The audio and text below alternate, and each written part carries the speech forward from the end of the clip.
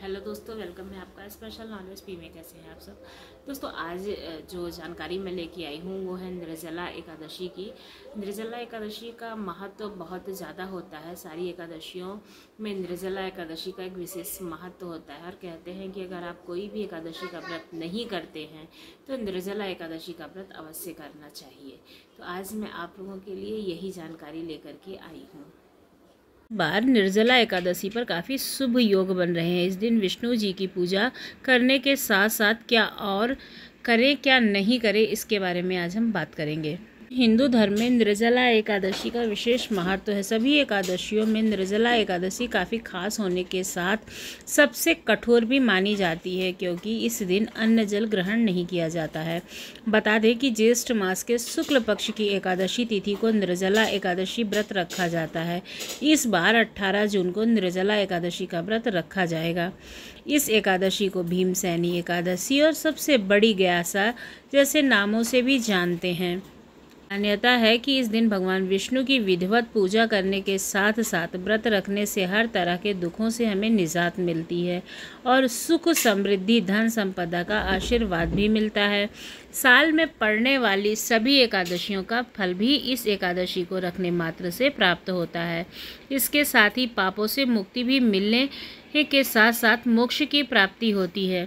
ये जानते हैं कि इसका शुभ संयोग कब बन रहा है? पंचांग के मुताबिक ज्येष्ठ मास के शुक्ल पक्ष की एकादशी तिथि 17 जून को सुबह चार बजकर बयालीस मिनट से आरंभ हो रही है, जो 18 जून को सुबह छः बज के तेईस मिनट पर समाप्त होगी। ऐसे में उदया तिथि के आधार पर निर्जला एकादशी का व्रत 18 जून को रखा जाएगा। हिंदू पंचांग के अनुसार इस साल निर्जला एकादशी पर काफ़ी शुभ योग बन रहे हैं। शिव योग दिन भर रहकर रात को नौ बजकर उनतालीस मिनट तक रहेगा इसके साथ सिद्ध योग लग जाएगा। इसके साथ ही दोपहर में तीन बजकर छप्पन मिनट से लेकर अगले दिन सुबह पाँच बजकर चौबीस मिनट तक त्रिपुष्कर योग रहेगा। तो निर्जला एकादशी का व्रत 18 जून को पड़ेगा। निर्जला एकादशी के दिन दान करने का विशेष महत्व तो है।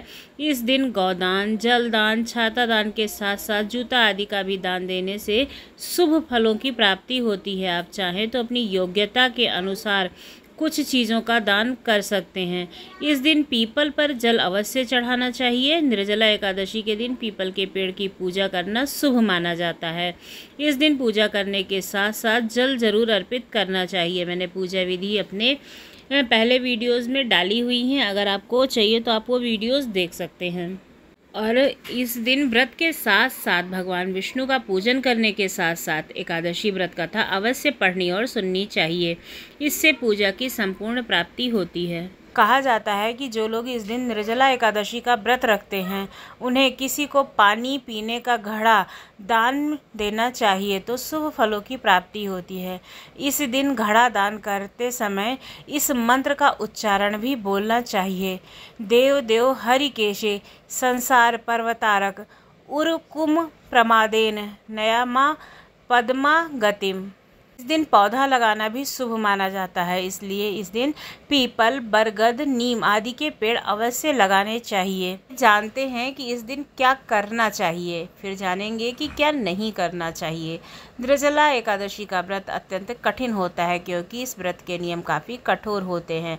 एक तो ये ज्येष्ठ मास में पड़ता है, जबकि तपती गर्मी रहती है और इस दिन जल ग्रहण करना वर्जित माना जाता है। ऐसे में व्रती को पूरे दिन और पूरी रात बिना जल ग्रहण किए रहना पड़ता है। निर्जला एकादशी के दिन व्रत रखने जा रहे हैं तो ध्यान रखें कि ब्रह्म मुहूर्त में उठकर स्नान आदि करें, फिर भगवान सूर्य को जल अर्पित करना चाहिए। इसके बाद में जल लेकर के हाथ में व्रत का संकल्प करना चाहिए। इंद्रजला एकादशी व्रत के दिन पीले रंग के वस्त्र पहनना अत्यंत शुभ माना जाता है।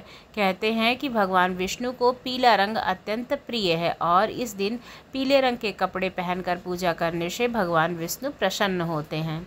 चला एकादशी के दिन घर में मांस, मदिरा और तामसिक भोजन नहीं बनाना चाहिए और ना ही इसका सेवन करना चाहिए। ध्यान रखें कि घर को कोई भी सदस्य तामसिक भोजन को हाथ ना लगाए, ना ही सेवन करे।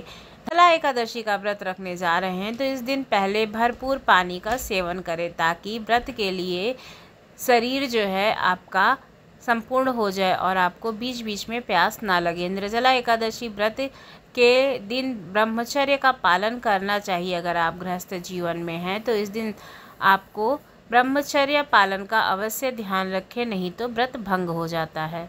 इस दिन गरीबों को दान देना, भूखों को खाना खिलाना और पेड़ के नीचे पशु पक्षियों के लिए पानी और दाना रखना अत्यंत शुभ माना जाता है। जानते हैं निर्जला एकादशी व्रत कैसे रखना है? निर्जला का अर्थ होता है निराहार और निर्जल रहकर व्रत को धारण करना, अर्थात इस दिन अन्न का तो त्याग करना ही है, साथ में जल का भी त्याग करना चाहिए। यानी कि इस दिन निर्जला और निराहार व्रत रखा जाता है। शास्त्रों में यह भी उल्लेख है कि संध्योपरांत के लिए आचमन में ही जल लिया जाता है तो उसे ग्रहण करने की अनुमति है। इस व्रत में एकादशी तिथि के सूर्योदय से अगले दिन, द्वादशी के सूर्योदय तक जल और भोजन ग्रहण नहीं किया जाता है।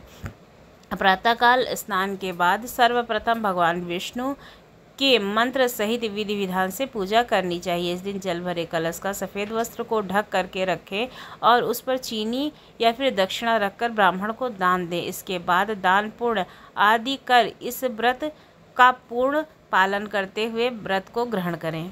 फिर दूसरे दिन पारण करें। तो आपको निर्जला एकादशी के बारे में जानकारी कैसी लगी, ज़रूर बताइए। अगर अच्छी लगी तो चैनल को सब्सक्राइब कीजिए।